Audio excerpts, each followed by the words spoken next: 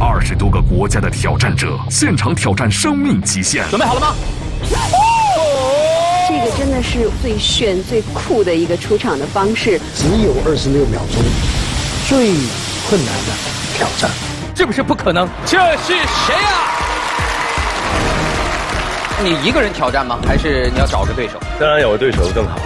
今天我来到挑战不可能，就是要挑战一下自己，也算实现了自己的愿望。一点差误都不能了。你的鼻尖是不是已经碰上了车的底部？基本上已经差不多了。不是最棒的。每增加一阶，它的难度是翻倍的。他全身四百六十块肌肉，每一块肌肉都在动。啊！哦，挑战不可能，为什么会感动呢？好，嚯，加油！好，上腿。那是要多大的一个信任？抓住啊！哎，好。挑战不可能，让生命绽放奇迹。有请主持人撒贝宁。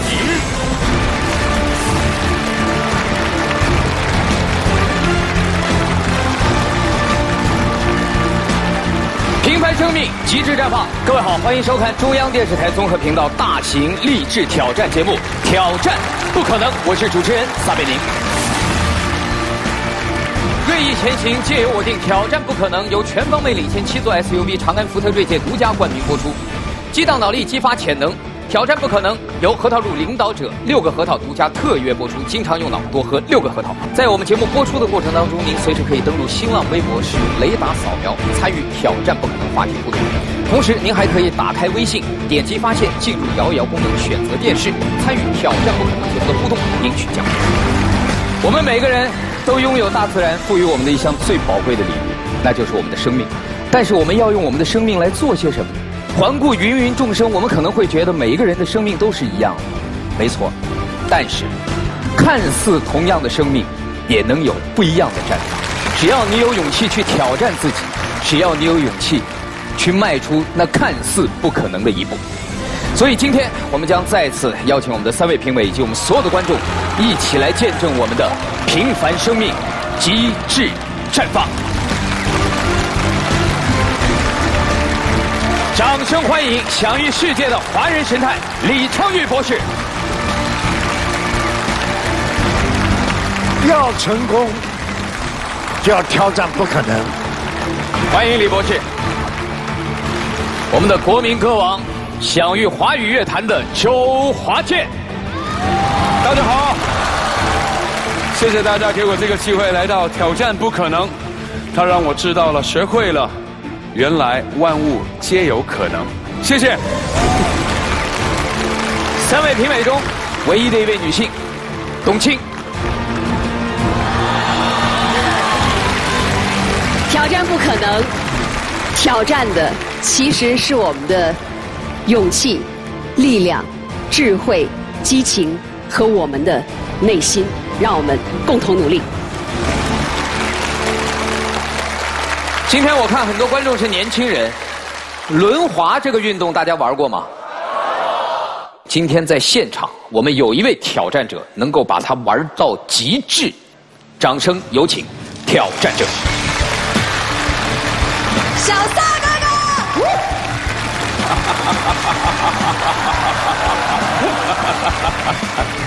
我刚才抱着他的时候，我的感觉这是一个非常轻巧的轮滑运动员。给大家做个自我介绍。呃，大家好，我叫李明芬，来自广东顺德，今年十七岁了。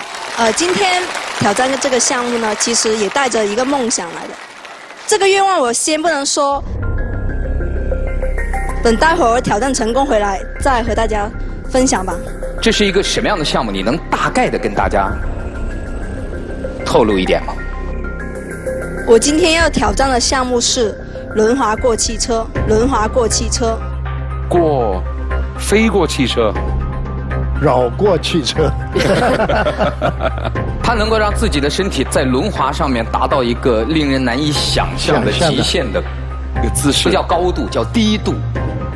然后他要从汽车底下，汽车底下滑过去。我们的汽车，我们的现场已经全部准备好了，就在我们的场外。接下来，掌声有请我们三位评委和我们的观众一起到场外见证挑战。好十八辆车，总长五十米，挑战者穿着轮滑鞋从车底一次性穿过，除轮滑外，身体不得与车底与地面有任何接触。而车底距离地面的最低处只有二十九厘米。这一挑战将极大考验挑战者在超低的情况下能否自如驾驭自己身体的能力。一出去看到那个车阵排出来以后，才知道那个壮观的感觉。它这么低的一个高度啊，是能过去吗？现在我已经来到了终点，三位评委在这里等待我们的挑战者。当然，我们希望他能够顺利的从最后这辆车的车底，能够穿着轮滑滑出来。在挑战不可台上，他应该挑。为了感受这个极限到底是个什么程度，我将代表三位评委一起。当然，如果你们愿意的话，也可以来感受一下，他到底他的这个高度是多少。我们知道，待会儿挑战者是要穿着轮滑。然后身体的任何部位不能挨到地面，而现在呢，他们给我做了一个已经是最低限度的高度的这么一个小板儿，然后我躺在上面，就是以最薄的方式来体验一下这个车底到底高度是多少。好，再见啊！有什么事打电话。我觉得我的鼻尖儿现在，你们能看见我吗？能。要隐约。我现在是躺在，基本上躺在地上。你看我的鼻尖我的鼻尖距离这个车底也就一个手指头的距离。你看，一一个手掌的厚度。我的天，他要两脚着地，他得他得贴地面贴到什么程度才能顺利的？而且你想，我这是刚一辆车的距离。哦，对，我这刚一辆车。最大的难度是它有一个这么长五十米的距离。很艰难的挑战，假如一失误。很可能产生意外。他必须要掌握一个特别好的初速度，然后保证他能通过五十米。所以现在是李明芬的爸爸跑过来了，是吗？对，他在检查车底。他现在最主要在要检查什么呢？车底不能有任何的杂物。之前练蒙眼过杆的时候，有一粒沙子卡住这个轮子，他就磕掉了三分之一个牙。自从那一次之后，每次练习我都把地面拖一遍。检查一遍，今天我已经拖了两次的了。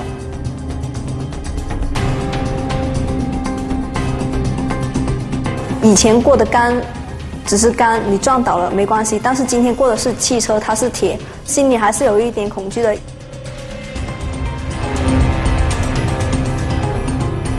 李明芬已经准备完毕，加油！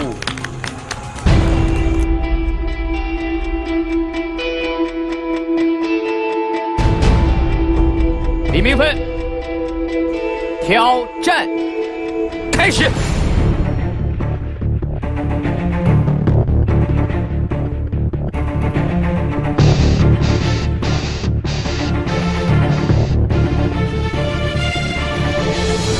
加油！哇哇哇！他过来了。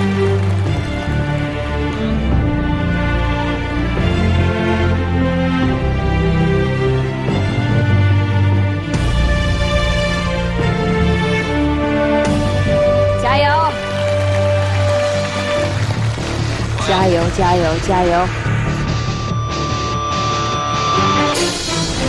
哦！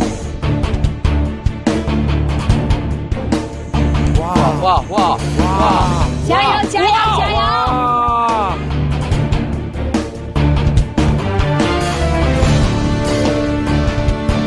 加油！加油！加油！哇哇哇哇！加油！加油！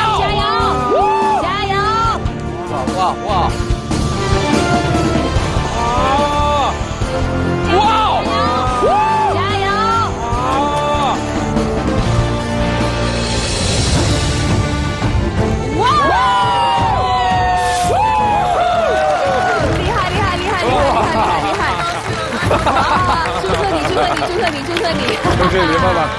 祝贺恭喜你恭喜你！哭了！因为我的。腿上有伤，真的是压抑太久了，憋了一个月了，很激动。每天我父亲一天三次帮我揉揉腿，所以说我真的很害怕自己不行。然后我自己真的感觉如果不成功，自己心里真的过不。不会的，不会的，今天完成的太漂亮，是就我们甚至都还没准备好，他就出来了。太快了，就是我们觉得我们等了好久好久，最后太快了。现在在场外，还有什么想说的吗？呃，在过这一次之前，我心里真的很很畏惧。然后，当我骑到这里来的时候，我觉得我今天我今天应该更加挑战一下自己，挑战不可能，把最后五辆车降低两厘米，降低两厘米，降低两厘米。他说我要继续挑战，我们每个人都吓了一跳，再降低两厘米，那几乎不可能了。突破自己的极限来完成的，就要挑战不可能。挑战者现场提出，将最后五辆车车底高度从二十九厘米降至二十七厘米，每降低一厘米，都将极大提升挑战难度。自信的他，今天能够完成终极挑战吗？三位评委，现在这辆车，他们已经把气放好了，我再下去感觉一下。好，我们来看你降低两厘米之后是什你的鼻么概念啊？尖是不是已经碰上了车的底部？哎呀，你鼻子差不多，基本上已经差不多了。碰到了，碰到了你，这你这这我就就基本上不能动了，已经比刚才要严苛多了。再加两厘米，除非他的头、脸要贴到地，一点差误都不能了。李明芬，你那边准备好了吗？好，接下来请听我这边的口令，挑战。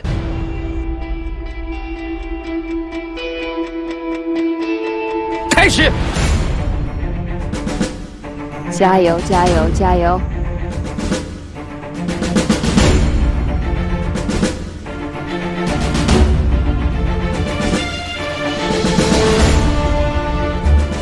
他进入了车底，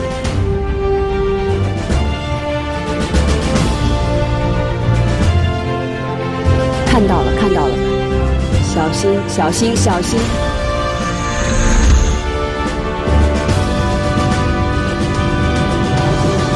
小心小心小心！加油小心加油小心！保持最低的姿势小心！小心小心小心！保持最低的姿势小心小心！小心。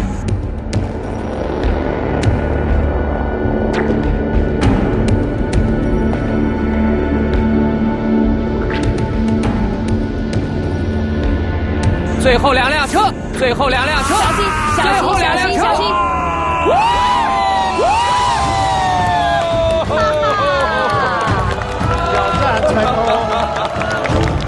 还能走路吗？厉害厉害厉害厉害！哇，三位评委又一次见证了不可能之上的不可能。非常感动。我们每个人都为你担心，现在我们每个人都为你庆贺。谢谢，恭喜你谢谢，谢谢挑战者。他下来的时候站起来以后，他一路的捶两侧，我可以理解到那个那个拉力、那个张力是已经去到一个极端的了。韧带打开之后，你啊是保持一个特别最大的一个极限。而且你在第二次提高你的挑战之后，你后来回来的速度并没有第一次来的快，所以我们都很为你紧张。最后的那个读秒的感觉，恭喜你！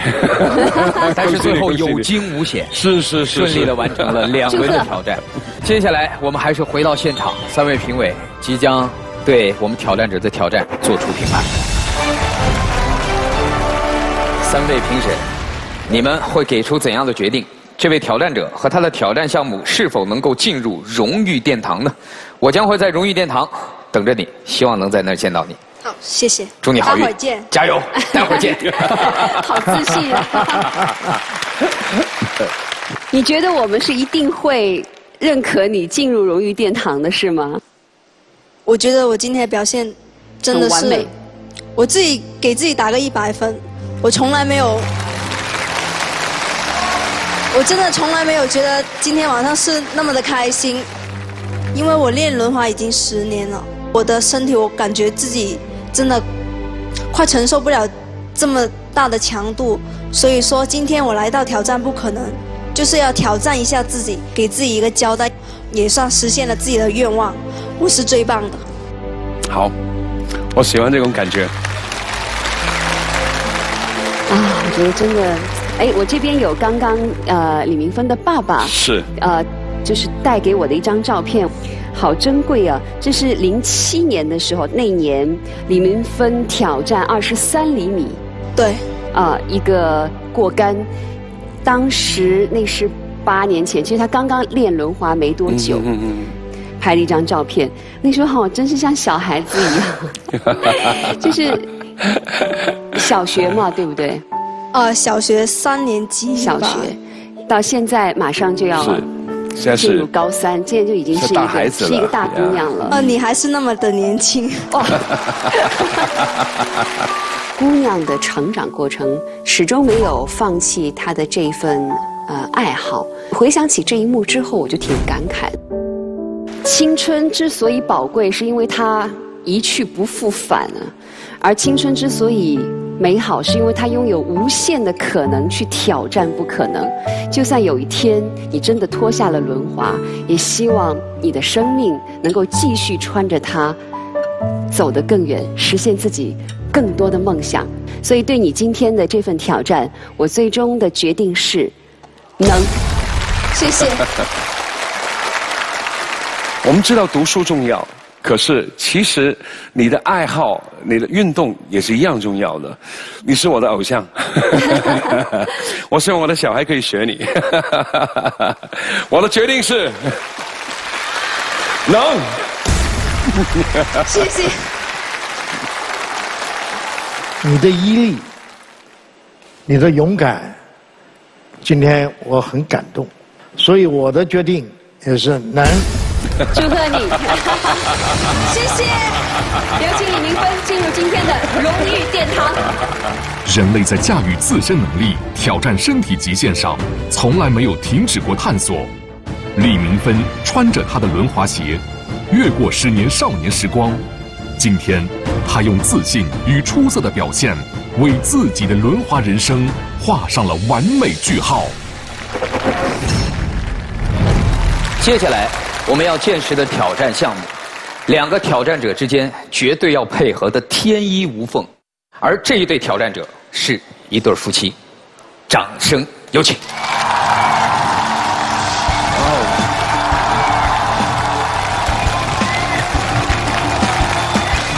欢迎来到挑战不可能，夏老师好，张文平老师好，来两位做个自我介绍吧。大家好，我叫刘军，今年三十六岁。大家好，我叫冯月，今年三十一岁。欢迎你们。欢迎欢迎。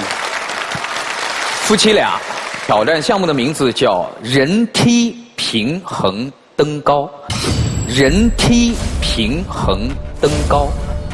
我给大家宣布一下我们的挑战规则：在他上台阶的同时，他的妻子在他的肩膀上，而他的妻子与此同时要把身后用四个塑料杯子垫起来的这个花儿和平衡板顶在头上，保持平衡。所以丈夫要保持妻子的平衡，然后他还得保持自己和妻子以及花儿同时的平衡，并且在梯子上，然后还要往上上楼。就这么简单。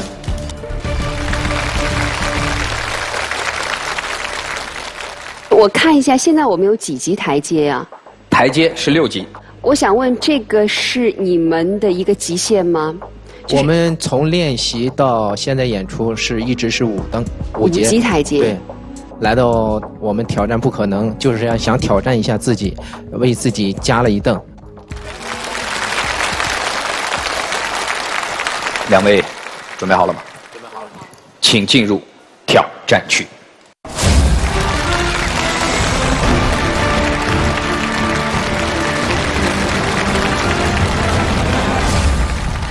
准备好了吗，两位？好，我宣布挑战开始。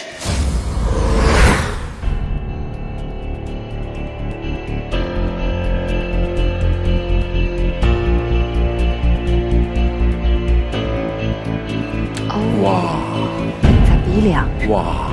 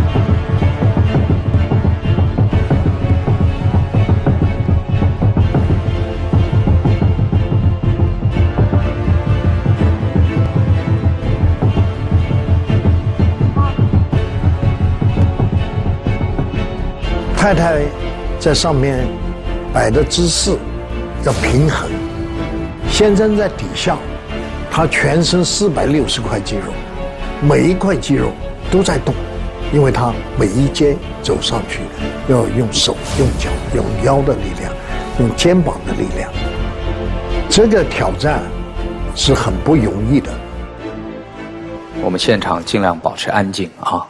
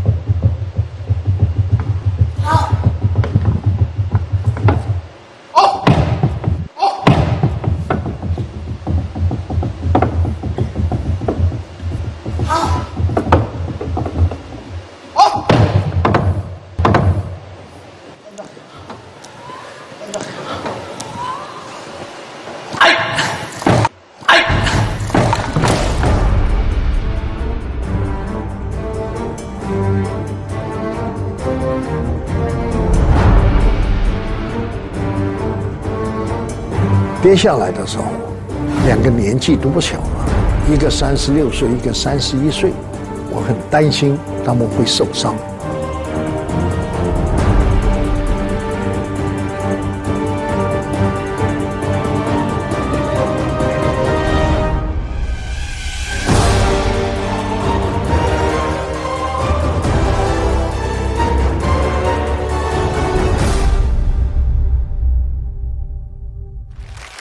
没事吧？来，休息一下，休息一下。哇，呼，没关系，平静一下，休息一下。来，我们掌声送给送给两位。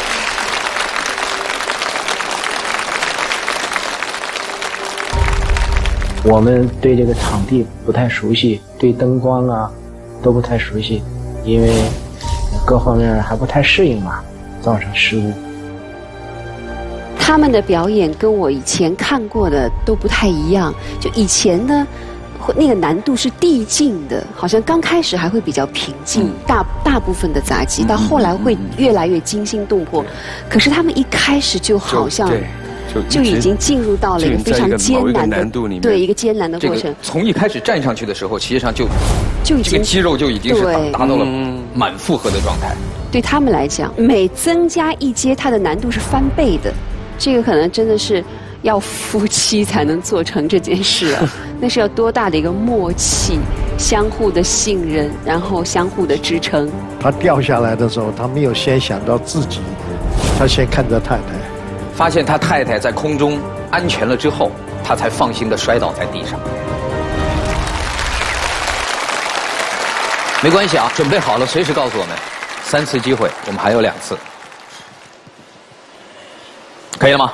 好，第二次挑战开始，加油！加油！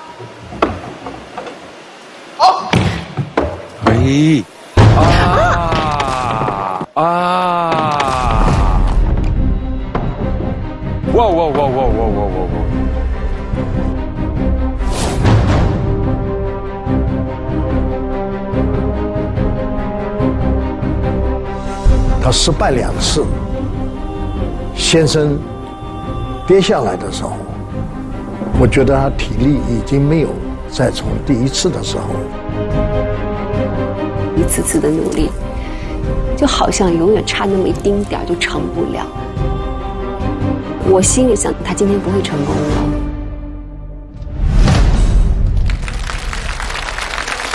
没关系，没关系，不着急，不着急。哎呀，之前第一次是在向第五级冲刺的时候第一次掉下来。第，三第三集。第三到第四的时候，这次是第四到第四到第五五的时候。所以这一次已经比第一次提升了一个台阶，但是距离六级台阶还有两级的距离，是。好难呐、在经历了两次失败之后，夫妻俩又开始准备最后一次挑战。前两次的失败消耗了夫妻俩大量的体能，使得接下来的挑战变得越发艰难。他们能够把握这最后的机会吗？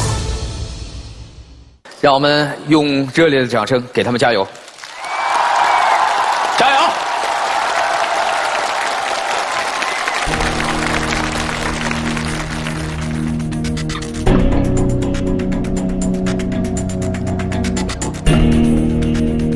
都有一个信念，既然来到了挑战不可能，就想超越自我。只要是有一点点劲，必须要坚持到最后，不能放弃。最后一次机会了。如果说我不成功的话，我这一辈子也许就有可能没有机会上这么大的舞台。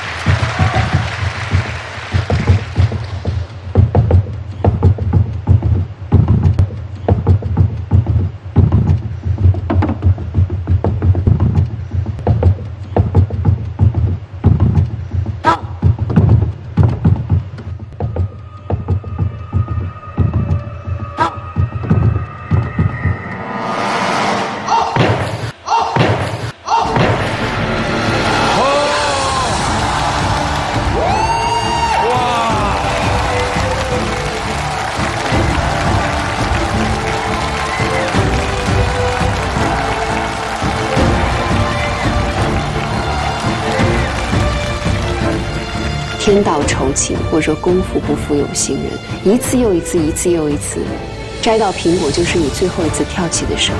他们今天就是这样。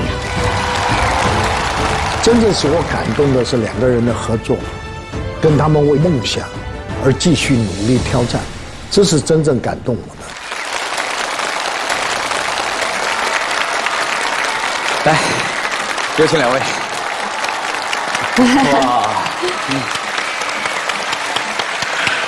哇，好奇怪，我觉得可以挑战不可能，为什么会感动的呢？我这个真的很感动。挑战是成功了，在我们后面还有一个荣誉殿堂，祝你们好运，希望能看见你们，谢谢老师。加油！可以告诉我们你们怎么认识的吗？我们是在一个团里认识的，当时他十岁，我十五岁。哇哇，青梅竹马。青梅竹马。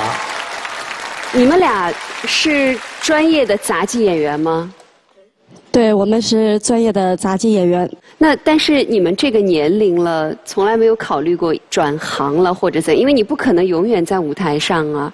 我们就一直想在最近这两年，就是想改行，啊、开个小饭馆啦，或者做点小生意啦，嗯、但是呢，后来想一想，嗯、我们还是要坚持几年，啊、因为我们毕竟来说从小就练的这个行业，这是这个节目呢，也算是我们维持生计的一个经济来源吧。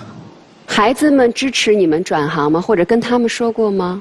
他们最希望就是说爸爸妈妈能就是说不要出去演出了，多陪陪他们。陪陪他我每一次回去，我们逛超市啊什么的买东西的时候，他就会那两个小眼啊就瞅着我钱包，妈妈你还有多少钱？还有多少钱？我说妈妈还有很多呢。我说你为什么老是看妈妈钱包干嘛呀？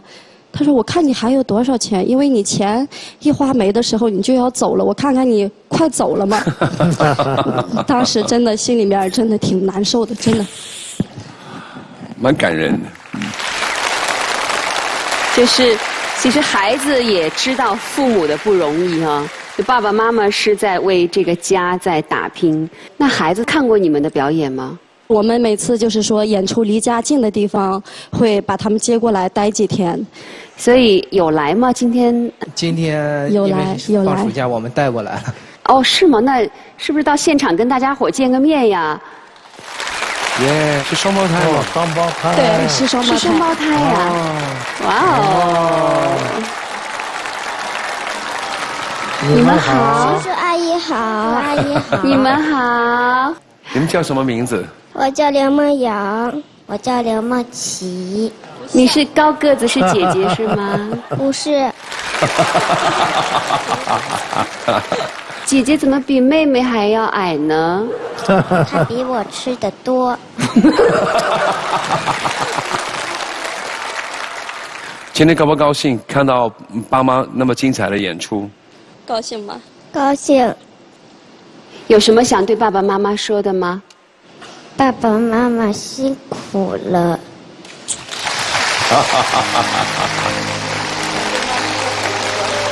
爸爸妈妈辛苦了，我要好好学习，好好练琴，不让你们这么辛苦了。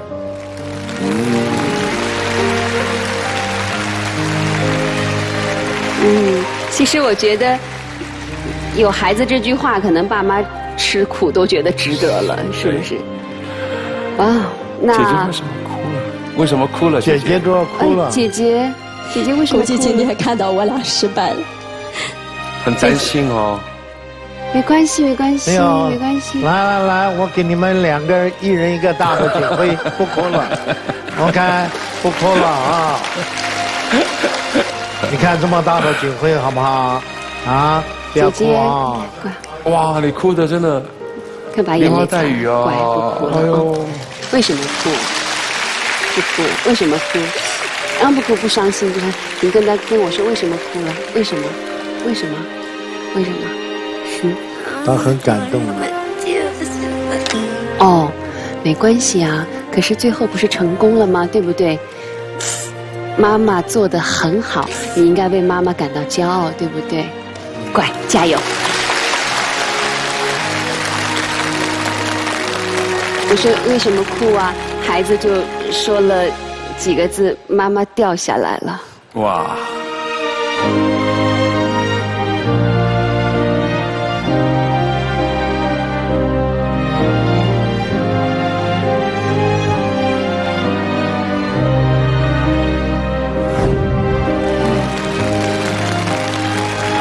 没关系，没关系，没关系。不哭了啊！妈妈说过要坚强，是不是？不哭啊！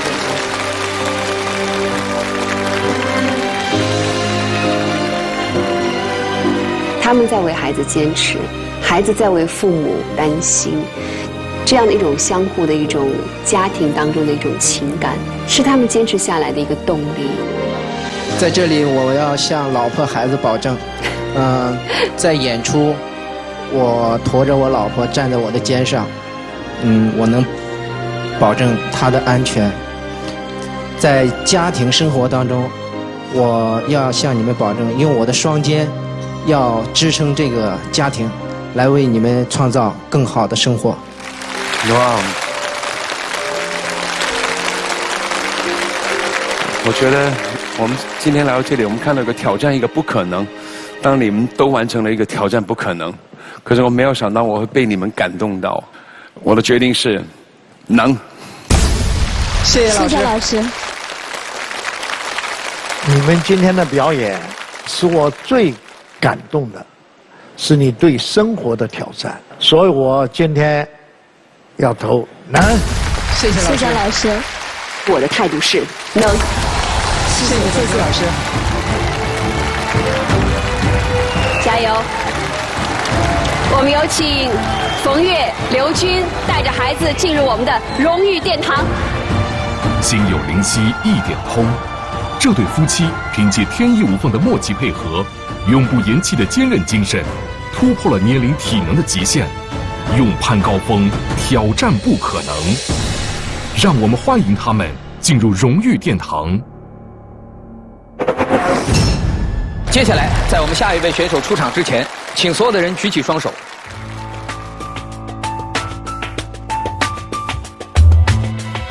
捂上耳朵。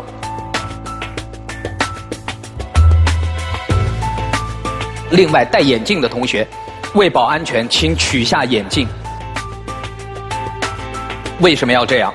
因为接下来将要出场的这位挑战者极其震撼。没想到到底他卖什么关子呢？到底怎么回事？这样。准备好了吗？好，掌声有请我们的下一位挑战者。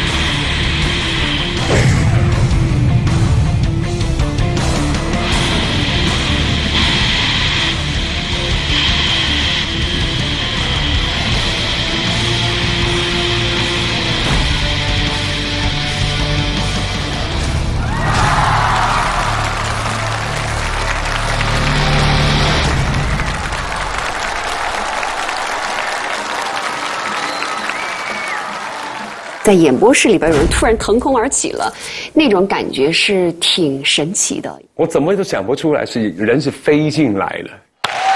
哇！Hello, nice to meet you. Nice to meet you. Welcome. Wow. Hi, my name is Nick. I'm the Go Fast Jetpack pilot. 欢迎你。And you? My name is Troy Widgery, and I am the CEO of GoFast. CEO of the GoFast 是这套设备的工程师、设计者，同时也是这个项目目前的负责人。呃，两位作为挑战者，今天来到现场，出场够震撼吗？我觉得这个真的是到目前为止我们看到的最炫、最酷的一个出场的方式，啊、让我想到那个电影《零零七》，你知道吗？《零零七》里边曾经就有一个 James Bond，就有一个飞对在在飞的一个一个镜头，那时候觉得是不可思议，是拍电影是假的。可是今天在现场，距离我十米开外的地方，它就飞过来了，我就天哪，我就真的真的，但是我我就在想，是不是很重啊，Nick？Yeah, it's um, probably fully loaded. When I was coming in, it was about 65 kg. 所以你是不是先进行你的挑战，结束了之后，我我们再慢慢的再了解你的一些细节？Yeah. OK，好，那么但是我要告诉大家，挑战项目是在场外，因为场内确实这个空间没有办法完成挑战，所以接下来我邀请三位评审，还有我们的部分观众，我们一起到场外去见证挑战。挑战者将操控喷气背包飞向高空，在三十四米的塔尖放置着一个装满乒乓球的容器。挑战者需用喷气背包产生的气流将乒乓球吹出，并安全地回到出发点，即为挑战成功。挑战者共有两次机会。确实，我们在远方还看到了有急救车，还有担架。当然，这些是为了有备无患，以防万一。加满燃料之后，我们的挑战者在空中停留的时间大概也就二十六七秒。一旦燃料烧完之后，动力切断，可能就会出现意外。这一挑战的难点在于，挑战者在三十四米的高空，在科学把握二十六秒的飞行时间里，对自己身体精准的控制力。只有二十六秒钟，他是拿自己的生命去挑战，这是最困难的挑战。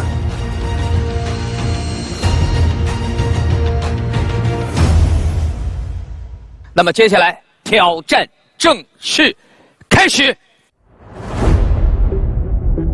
三、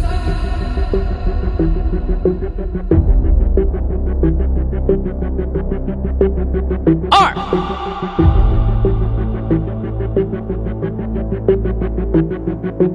一，出发！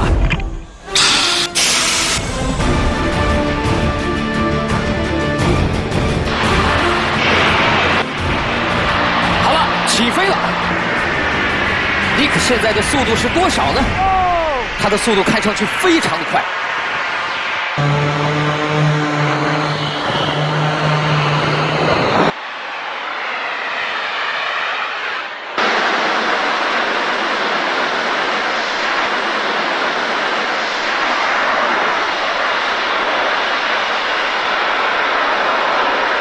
马上就要接近塔尖了，他能准确的利用喷气背包产生的气流吹落盒子里的乒乓球吗？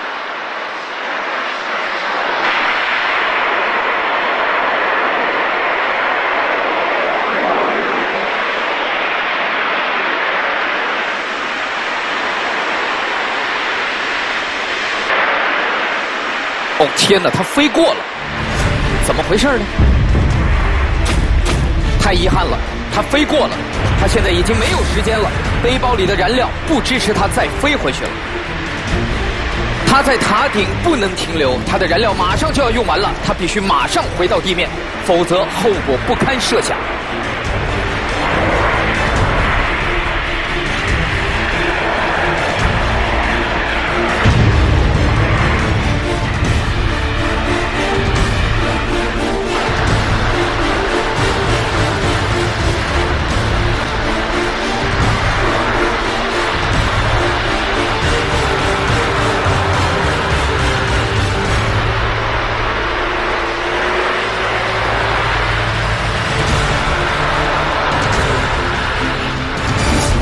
天哪，太惊险了！他身后的旗子居然被卷进了飞行器。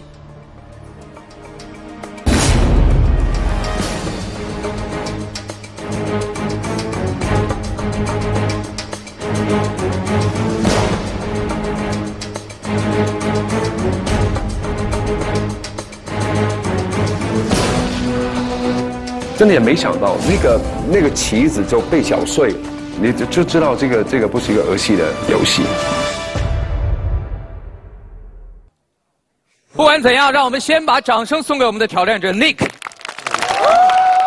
二十多秒的时间，他身上的这个机器已经产生了巨大热量。现在我站在他旁边，感觉像站在一个火炉的旁边一样。所以他这个飞行确实是相当的有难度。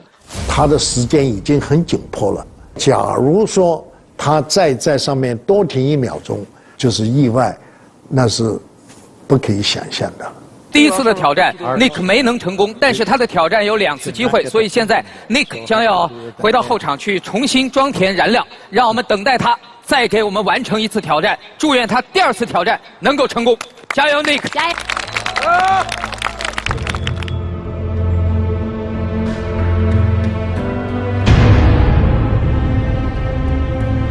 尼克在第一次的挑战中，因为计算错误，没能在燃料耗尽的时间里完成挑战，他不得不返回地面。他身后旗子的烧毁，更是加大了挑战的不确定性。现在仅剩一次挑战机会，这是一个难度极大的挑战。对于挑战者来说，每一次飞翔考验的是他的勇气和在高空中对自己身体精准的控制力。每次飞行，他需要重新加满背包里的燃料，这个过程需要三十分钟时间。由于更换燃料过程比较危险，节目组无法进行拍摄。我们等了很久很久，灌的气里面的气压什么种种种种拿掉非常仔细。我花上这个时间是值得的，因为安全最重要。我们再一次用比第一次更为热烈的方式来迎接我们的挑战者 Nick。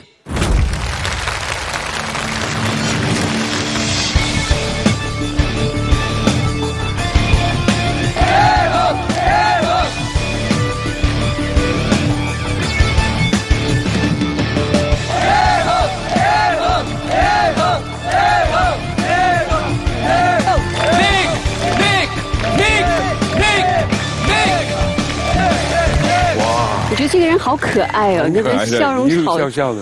I think I will be successful this time. I'm going to get a little bit closer and really pop those balls out of there. All right.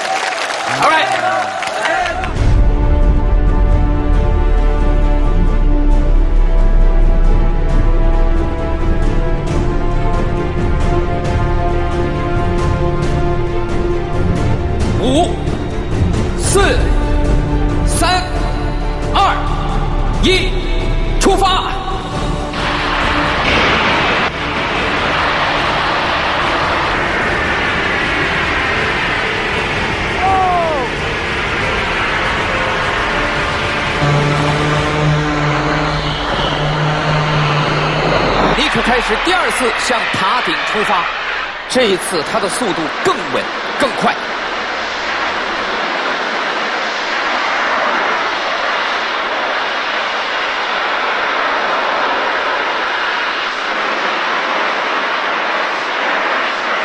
现在他已经到达了塔顶的附近了，这一次他需要更加靠近塔顶才能完成挑战，但也意味着他越靠近塔顶，他的危险性就越大。他这次能否成功的吹出乒乓球呢？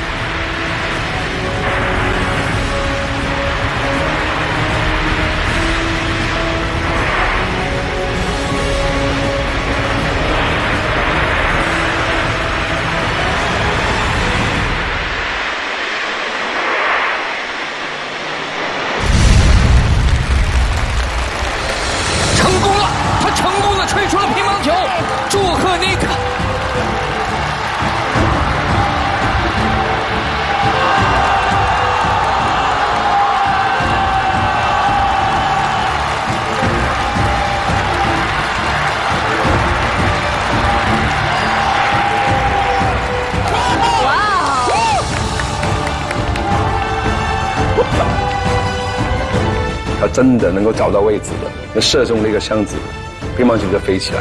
像花瓣一样洒落下来的时候，我真的是被震惊了。挑战者经过了两次尝试以后，成功的完成了他的挑战。接下来，我们将进入到场地之内，有三位评委对他的挑战进行评判。让我们用掌声有请我们的挑战者回到场内，有请 Nick 和他的小伙伴。谢谢各位，谢谢各位。两次挑战的过程，相当的惊险，尤其是这个第一次挑战落地的时候，那个旗子卷到了他这个飞行器当中，那一瞬间，我能明白，每飞一次，他都是用生命在飞行。所幸，呃，平安顺利，而且第二次挑战成功，这真的太了不起了。所以，接下来我们要等待三位评委的决定了。我将在荣誉殿堂等待 Nick。你是怎么想到要发明这样一个喷气式飞行器？你为什么要去做这件事情？ The reason I got involved with jetpacks is when I was young, I wanted to skydive. And I got on one of the best skydiving teams in the world. And we were training one day, and the plane crashed. and 16 people died, and I was one of the people that lived. Our new design is in memory of our friends that died, and also so that everyone can fulfill their dream of flying. 所以它的这个设计的理念可能源于一个我们不太愿意去想起的一个悲剧，但是今天我们却看到了一个很美好的一个结果。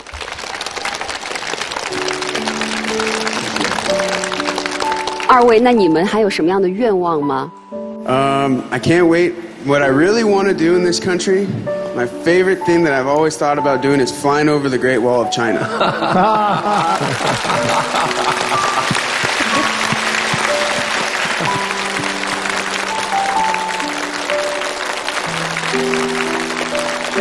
其实人有历史以来，每个都想飞。你们已经踏出很成功的一步了。祝愿尼克变成阿姆斯壮，有一天；然后 Troy 有一天变成飞行器里面的比尔盖茨。Thank you. OK，我的决定是能啊。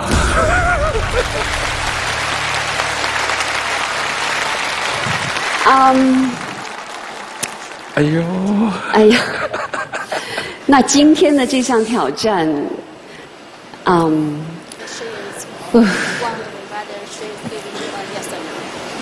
我觉得，一个，Thank you，Thank you，能不能，能不能，我的决定是。No. Thank you. You're very sweet and kind. 其实我是纠结了一下的，因为我觉得人借助了一个设备，然后完成了一个挑战。我想，可能最终打动我的，我觉得是他们的一种精神、一种品质、一种创造力、想象力。我的决定是能。耶。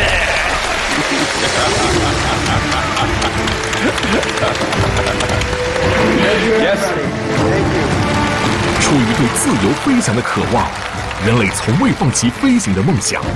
作为空难的幸存者，他们依然不忘初心，探索着个人的飞翔。让我们为他们执着的信念和创新精神鼓掌。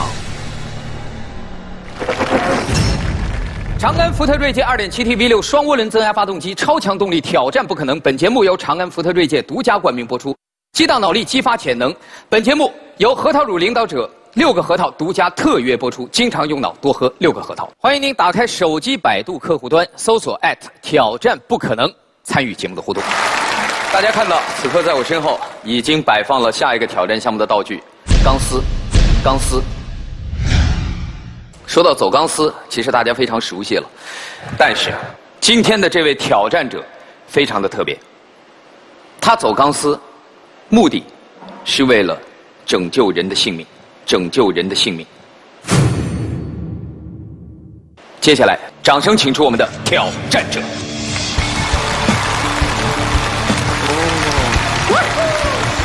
哈哈，哇！哈哈哈哈哈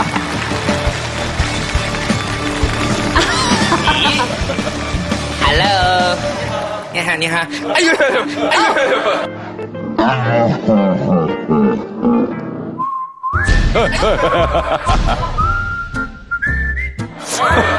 哇哦，咬伤了吗？我我手指头还在，还在。这里。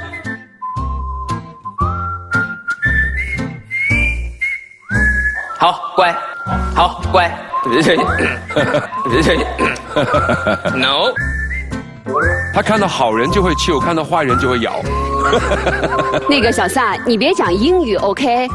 他的那个语言是。您是从哪儿来？我从重庆总队。啊，那对。你老实一点，我跟你说。哎，你不要那样哦。我也会咬人哦。好，走。好。哎。好嘞。好，乖啊，我是好人。你看，你看那个，看那三个，对 对，走走，好，您做个自我介绍。大家好，我来自重庆消防总队，我是一名消防搜救犬训导员，这是我的搭档黑雕。黑雕，黑雕。来到这样的现场，他会就是也会有紧张或者不安吗？他很兴奋，我看他一直都很兴奋。因为平时他看到的现场经常是废墟啊或者灾难呐、对对对对然后需要他去搜寻那些生命的迹象，对对对。呃，所以他的压力会很大。但是现在一看大家都活蹦乱跳的，不需要他搜救，他就很高兴，都活着都活着。呃，能介绍一下他这属于什么犬种吗？这是一条呃比利时的牧羊犬，今年它有四岁了。四岁。对。相当于人类的三十都三十岁左右吧。对，四就跟小撒差不多那岁数，就是。正当年的时候，我已经四十了，人家刚刚而立，我都不惑了。对，他再过一年就跟你差不多了嘛。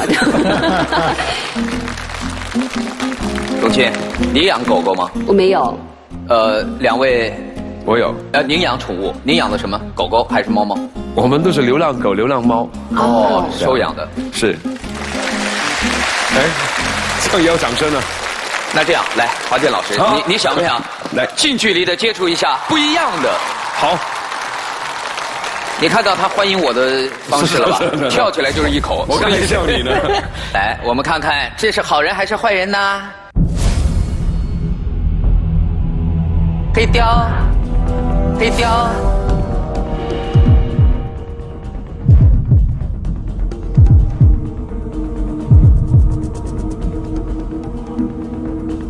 嗨，你好。哇哦！啊，你看，你看他的眼神哎，你看他看华健的眼神你看啊，看到看到。哇，你看啊，呀，我不玩了，凭什么上来就咬我呀？然后这么深情的看着华健。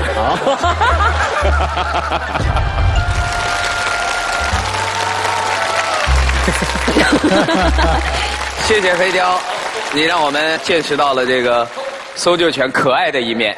但是今天，他的教官和他一起将为我们带来一个怎样的不可能的挑战呢？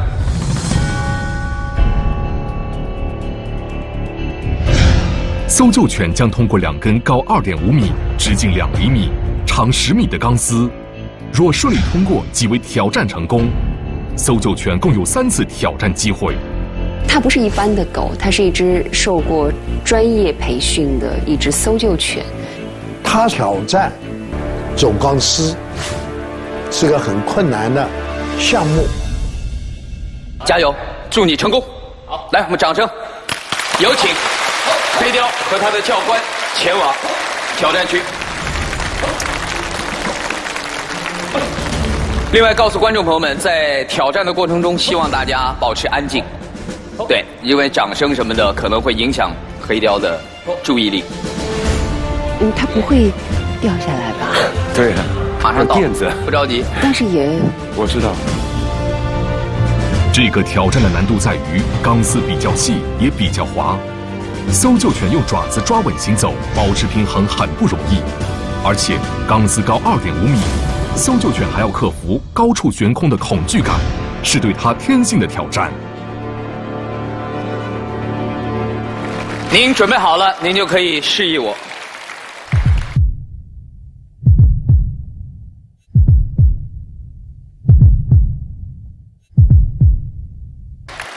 我准备好了，我准备好了，我准备好了。好，挑战开始。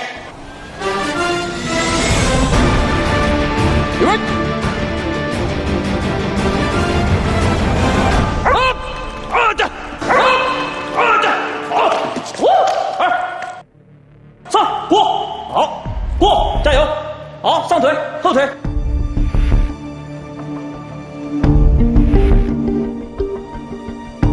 哎，好，好，好，好，稳住啊！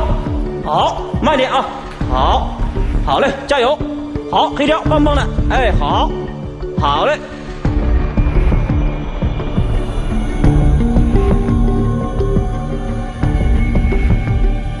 好嘞，加油！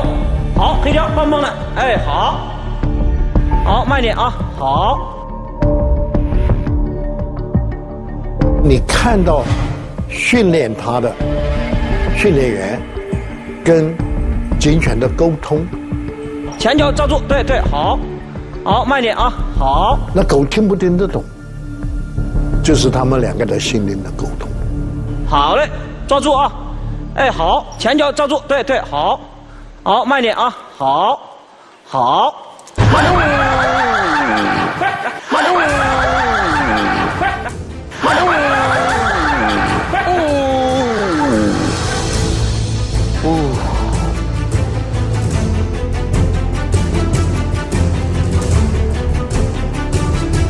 当市场呃摔下来一瞬间，其实我的眼眼泪都出来了。好，好，哎，好好，好，很棒，很棒，黑雕，很棒，很棒，你好厉害，哇！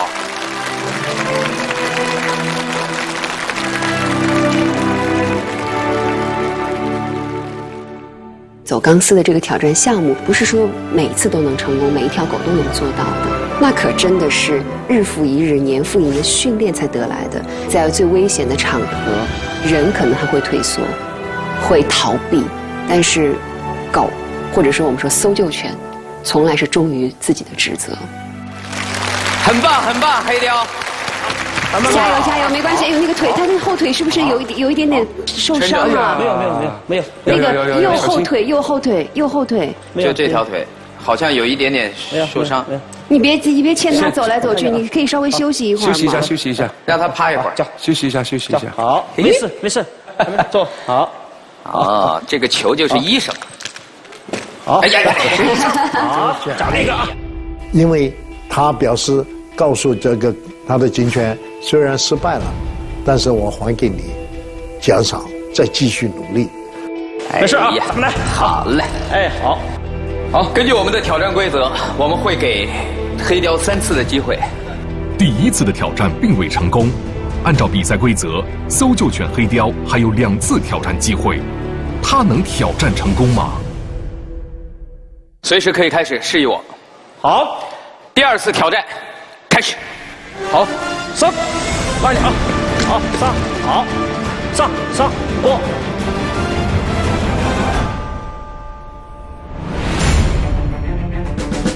慢一点，好，好，慢点，后脚，哎，对，好，好，慢点，慢点，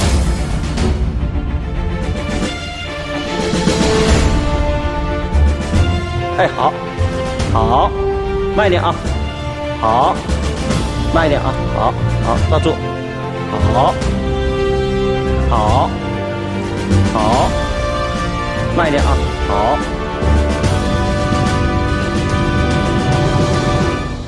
好，抓住啊！好，好，加油，棒棒的，好，慢一点，好，慢一点啊！好，好，慢一点，哎，好，慢一点，好，慢一点，好，好，慢一点，好，好，加油，棒棒的，哎，好，慢一点，好。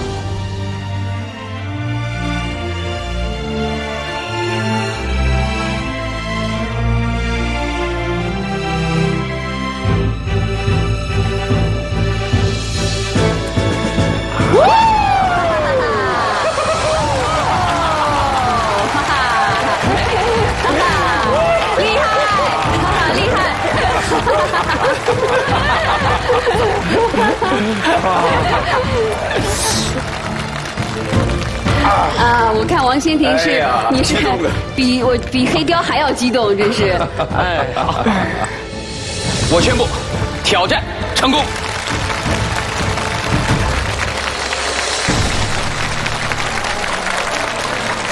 那他参加过搜救吗？在我们的现实生活当中，他参加过，是那个呃雅安地震的时候，他他到过现场救援的。哎呦！对对对。那他在那次搜救当中表现怎么样？我带了一些照片，但是他这个是你吗？就是黑雕的现场，现场那个救援的时候，他把那个呃去去救援，我们走了一天嘛，然后到了地方之后，又到山区那个山里面。然后他在那里找。通过将近半半半分钟左右嘛，半分钟左右把那个人给找出来了。找出来之后，但是这个人很遗憾，因为这个犬它它是那种，因为我们训过来，比如说现场找的是那个从那个废墟里面的人，如果是活活着的，他就非常兴奋，非常兴奋，非常兴奋。好，然后如果说现场的人如果是是是已经去世了，他就会很沮丧。那个那个犬这个时候非常的沮丧。哦，他的这个眼神就是看着他的他就非常沮丧，然很后难过的一个眼神。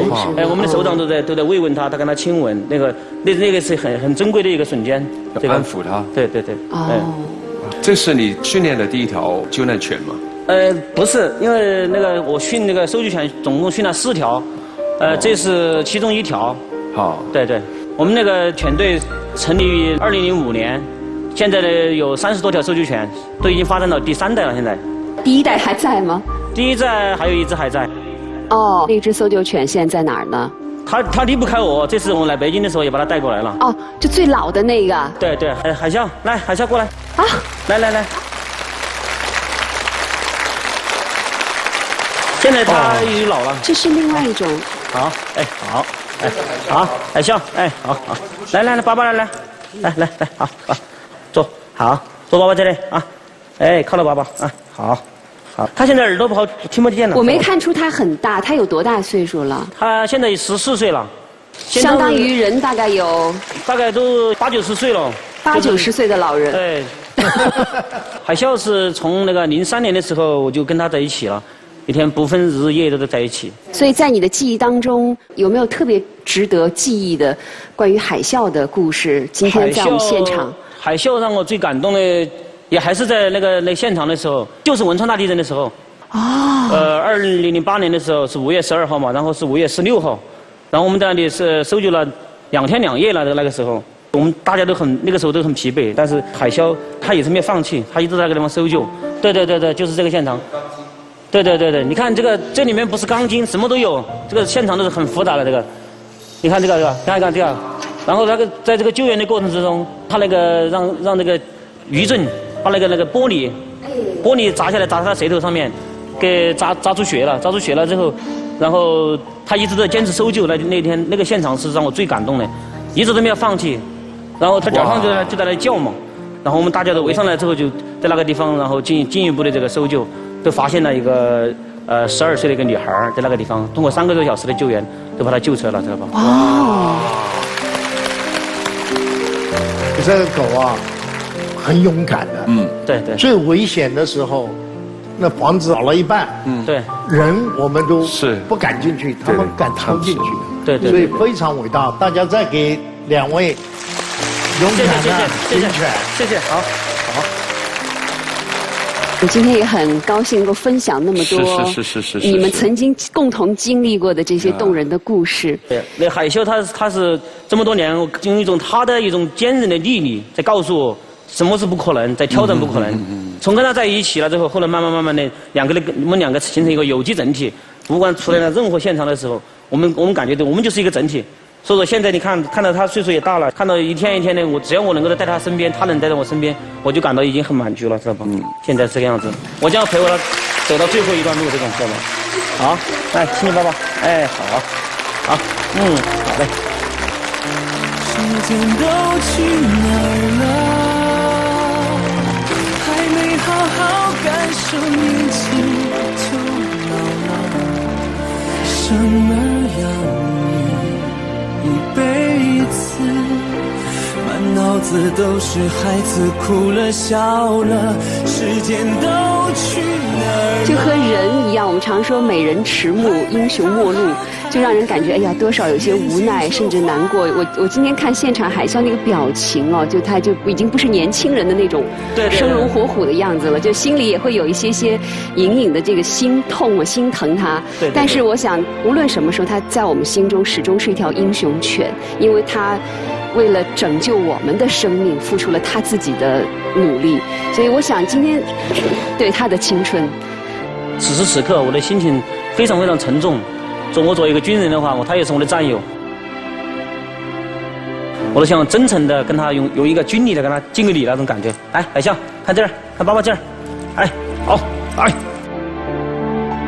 这里，这里，这里。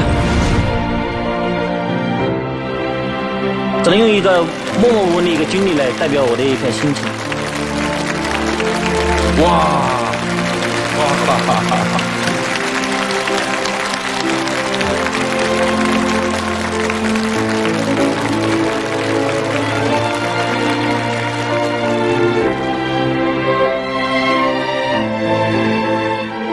哈！不像一般的狗，它们每天要训练，它训练的目的就是要救灾、救扶人民。他是真的为民出力、为国出力的。最后能否进入荣誉殿堂，我们的决定是是能，可能。能。谢谢。好，好，好，好嘞，好好。祝贺你们，请王先婷带着他的伙伴进入我们的荣誉殿堂。慢点，好，慢点，慢点，哎，这台阶，哎，慢点啊。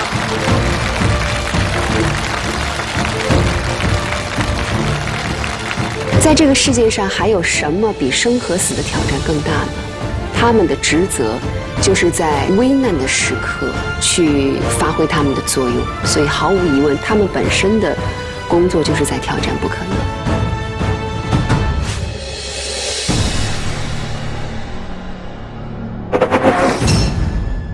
接下来，掌声请出我们下一位挑战者。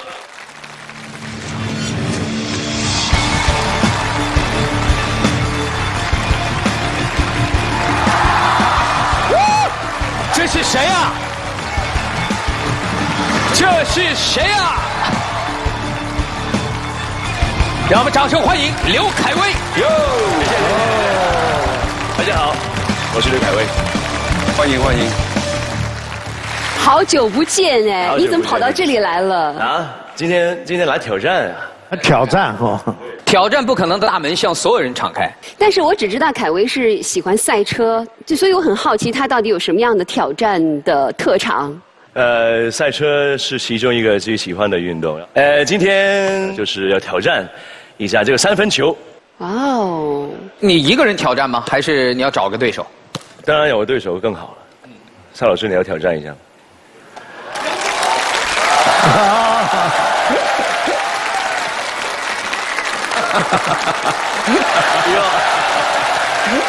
我欣然接受你的。衣服都脱了，激将法。想当年，我在三分球球王大赛当中拿冠军的时候，不要笑，真的，大概是一九九八年的时候，哪个地方举办的？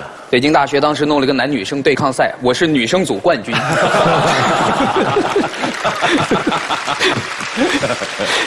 来挑战三分球，这样规则非常简单。嗯，一分钟的时间，你可以循环投，只要一分钟时间没到，你就可以不停的投，我也会帮忙给你捡球，让你以最快的速度，一分钟之内看能投进多少个三分球。我先来是吧？你先来，我来给你捡球。有点手软。来，准备，大屏幕，倒计时，开始。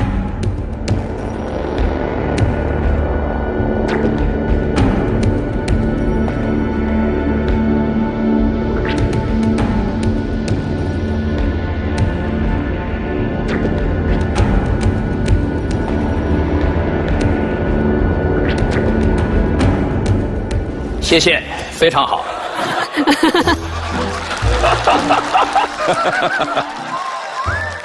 再来一个。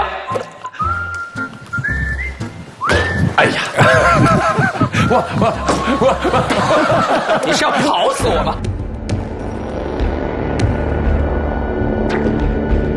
快快，哎呀，我我我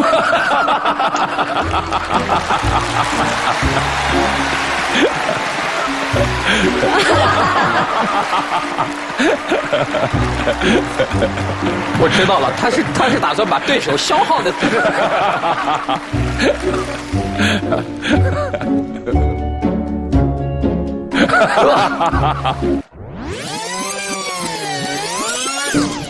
哎，为什么连倒计时都没有啊？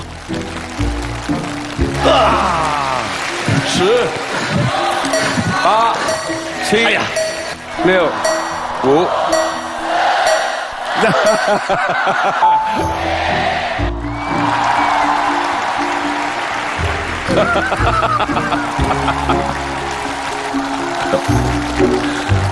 来个轮椅吧，来个担架。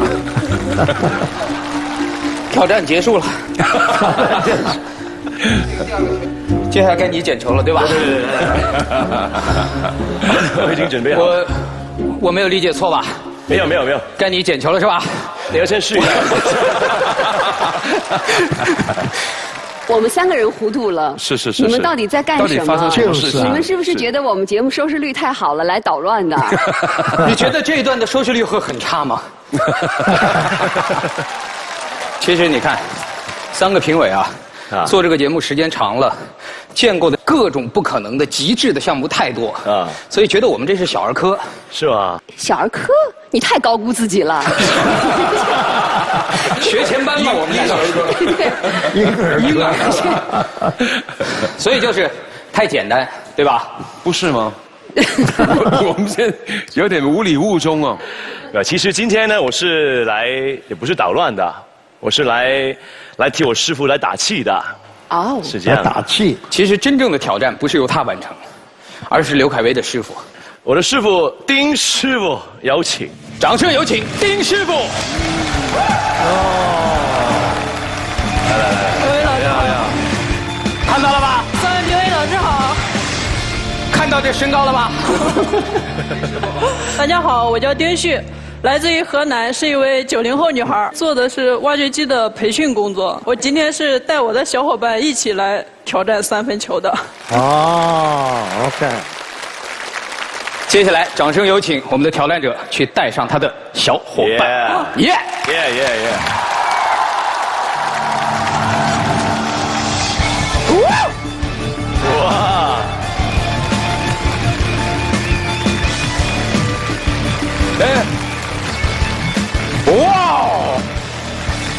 哇哦！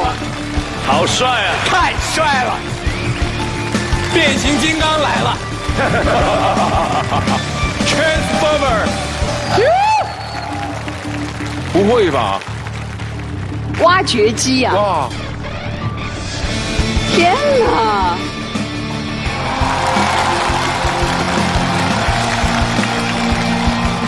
哇！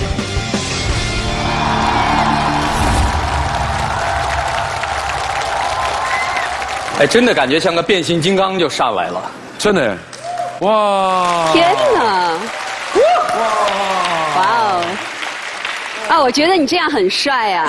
帅这是你的工作服是吗？嗯，对的，对的。怎么我还是没看懂啊？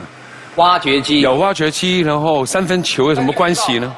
所以你今天带着挖掘机来是要我要把挖掘机停到三分线外，挑战投三分球，挑战投三分球。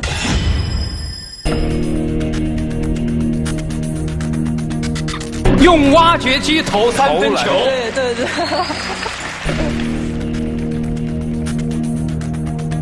不会吧？因为它有个爪子在前面，真的用这个来投篮是不太可能的。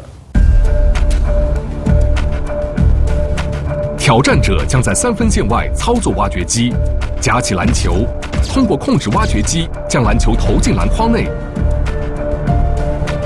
一共十个球，投进六个即为挑战成功。好，接下来挑战正式开始。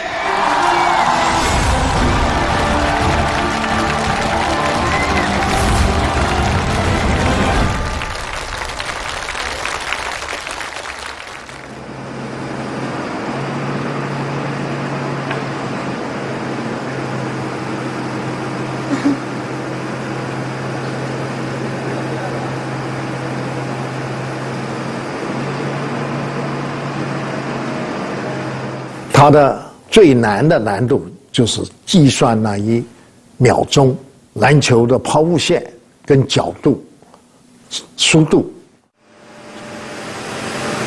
哇！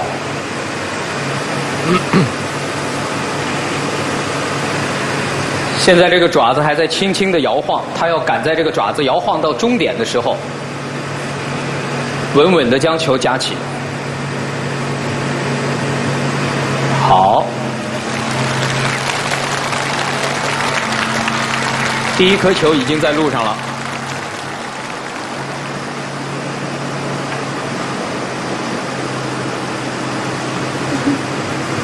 现在他在对方向进行微调之后，开始启动，摇晃吊臂。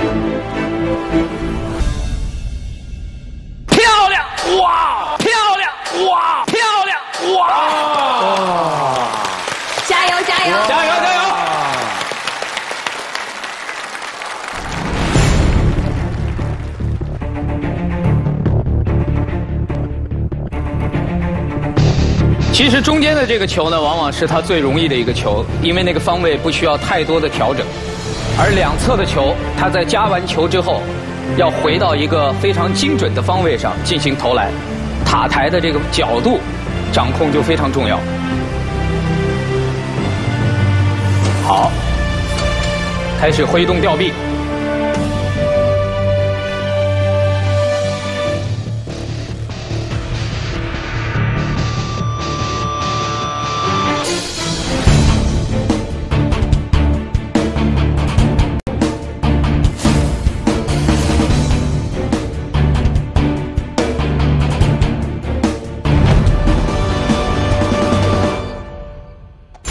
个，一个，一个，成功。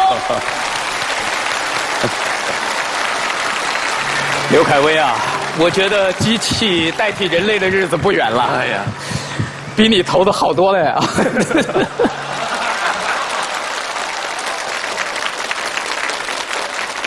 好，开始挥动吊臂。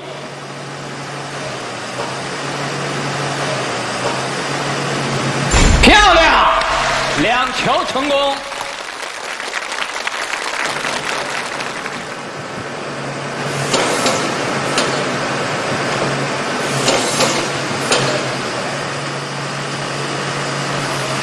漂亮，第三个。他距离他的挑战成功已经完成了一半的征程了，只要他投进去六个球，挑战即为成功。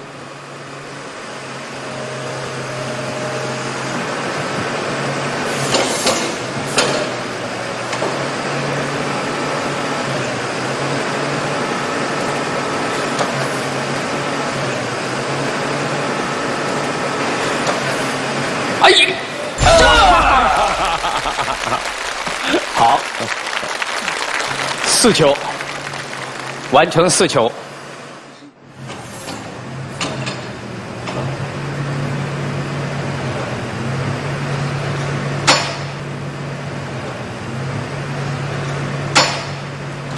哎呀，哎呀，这个稍微力度差了一点，来，掌声送给我们的挑战者。没关系，他有四球的基础在这儿，再有两球，我觉得对他来来讲难度并不大。他在调整角度，找到一个他认为最精准的角度，然后将球送出。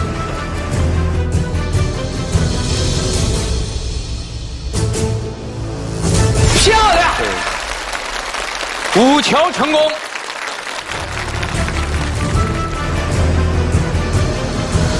如果这球进了，我们的挑战者的挑战就将画上他精彩的感叹号。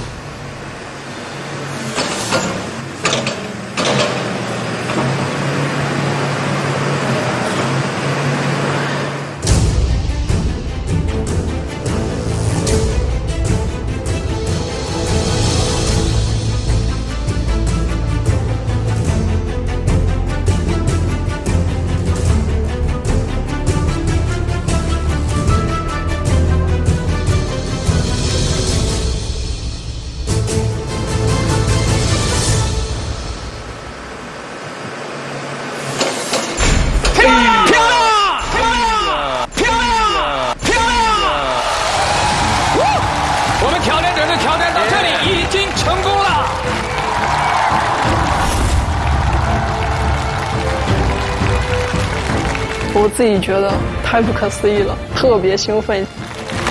对不起，我可以打断一下吗？对不起，我可以打断一下吗？我可以打断一下吗？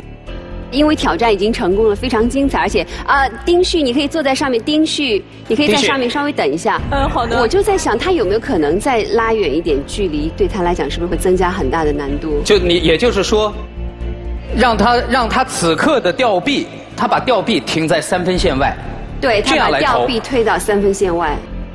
丁旭，你能做到吗？丁旭，你能做到吗？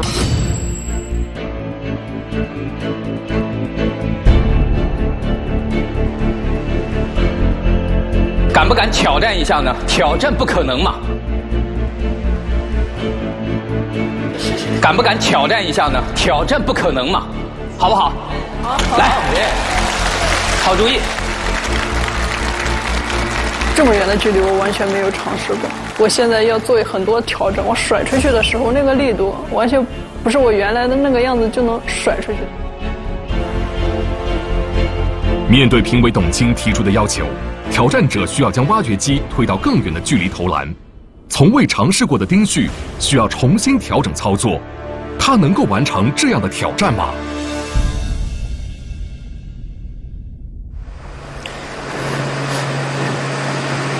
这个我们就不一定让他试十个球了，对我们只是想看一下，只想看一下他有没有可能，有没有可能？在这个距离内，从来没有练过的距离范围内，他这个力度就完全不一样了，跟他刚才掌握好的习惯的力度。好的。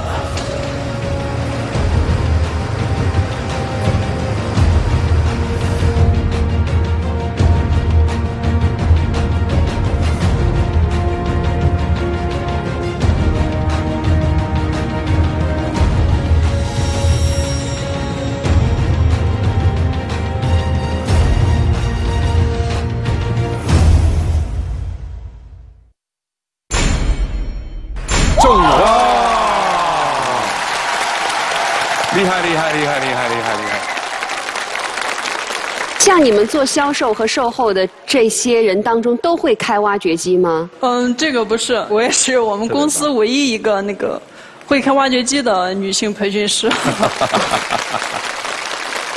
所以，我一听到说，哎呀，我是这个地方唯一的一个女性的时候，我就觉得脑海中立刻就浮现出你一定是特别受关照啊，然后特别多人能够来关心你啊，有吗？大家看我皮肤这么黑，就知道我我是经常在户外的。他是经常被阳光关照、包围的。因为其实干这个也挺辛苦的，因为你要学开挖掘机，都是在户外嘛，风吹日晒的。其实很多女孩子，女孩子都还是很爱美的，包括我在内。你挺美的，真的。其实之前爸妈是不希望我开挖掘机，他会觉得特别累，在外边晒成那样。他们就觉得我本来就挺黑的，然后现在晒这么黑，说其实挺愁我找对象这件事的。那你有男朋友了吗？嗯，还没有，评委老师。你以为当她男朋友容易吗？当她男朋？友排队来，谁能把球投进去来？不是 他是要比武招亲的，你以为？不是，他一不高兴就拿这个给你抓起来扔出去了，丢掉了。对呀，对呀。接下来，我们将把时间交给现场的三位评审，希望稍后能在荣誉殿堂看见你。谢谢。祝你好运。其实对你的技术我们都不不怀疑了，尤其是你刚开始的时候，你技术很稳定。就是我今天能投进这么多，也出乎我意料，真的。特别是临时让他又对啊加加大了难度，退后对加长了距离，太不可思议了。就是这个机器的手臂几乎就像人手一样，是不是我们人手能够做什么动作，它都能够完成呢？咱们挖掘机其实完全是跟人是一样的，大家看它的工作工作臂，其实跟咱的三节臂是一样的，是吧？嗯然后我觉得咱们只要人手可以做到的，我们的挖掘机也一定可以做得到。就可以吃饭，可以喝水，可以写字，可以穿衣服。虽然我没有尝试过，但是我觉得只要我敢去试，我肯定能做成功。虽然说大家都觉得咱们中国的重工业起步都比较晚，但是晚并不代表我们落后。外国人可以做得到，我们中国人一样可以做得到，甚至我们可以比他们做得更好。